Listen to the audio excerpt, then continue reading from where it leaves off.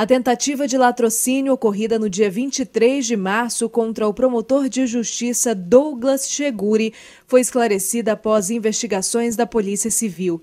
Cinco pessoas foram presas e uma está foragida. A motivação do crime, que inicialmente seria relacionado à atuação do promotor, foi descartada. Se você tem uma mata, se você tem um local de voçorocamento, o veículo vem e você pode sair do lado do veículo, se você quer matar, você vai sair do lado do veículo para matar. Você não vai sair a 20 metros do veículo.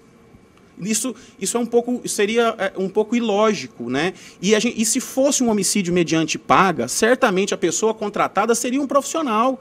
Não seria uma pessoa que ia estar tá munido de um revólver, ia sair a 30, 20 metros do carro e, e começar a fazer disparos a esmo.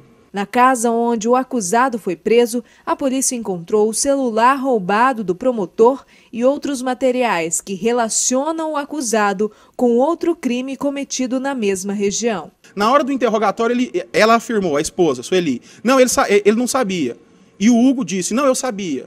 Uma série de contradições. O aparelho celular, por exemplo, ele deu quatro versões quatro versões para a proveniência desse aparelho celular, nenhuma delas factível, todas delas surreais o que demonstra indiciariamente o envolvimento deles. A polícia acredita que as outras pessoas presas estejam relacionadas e façam parte do mundo do tráfico. Por que, que essas pessoas mantinham contato frequente? Por que, que nos perfis de suas redes sociais existiam fotografias de armas?